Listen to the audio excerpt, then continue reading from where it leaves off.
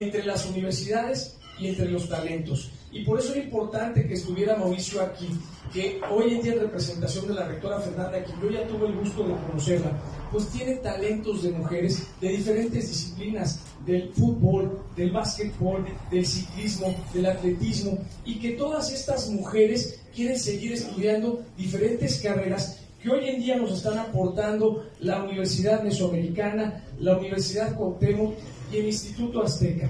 Y para mí era importante poder hacer este vínculo, poder cerrar esta brecha entre las iniciativas privadas y por supuesto el talento. Yo quiero decirles que muchas veces se requiere nada más de ponerse de acuerdo y de voluntades. Yo por eso estoy muy agradecido que hoy en día vamos a entregar 60 becas deportivas, 60 becas deportivas a mujeres de Puebla, de todo el estado.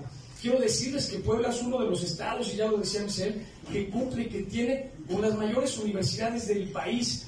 Somos Puebla uno de los estados que tiene mayor talento en diferentes disciplinas deportivas en nuestro país. Y necesitamos hacer esta cuestión de estrategias, de alianzas, de vínculo para poder trascender y darle una oportunidad a esos jóvenes de cumplir sus sueños.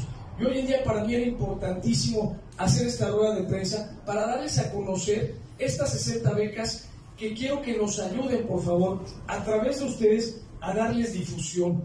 Quiero que, que todas las poblanas conozcan precisamente de esto que estamos lanzando. Queremos transformar vidas, queremos cambiar, queremos cambiar la vida de muchos jóvenes. Y como decía Misael, el poder estudiar y tener un balón en las manos, poder tener un instrumento, nos aleja de muchas adicciones, de muchos vicios. Hoy, esta mesa, estamos generando un círculo virtuoso.